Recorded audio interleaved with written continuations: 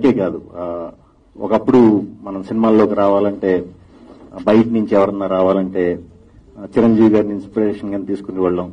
ఆ తర్వాత తరం రవితేజ గారిని ఇన్స్పిరేషన్గా తీసుకుని వచ్చారు. ఈ తరం ఆ నెక్స్ట్ తరం మన నాని గారిని ఇన్స్పిరేషన్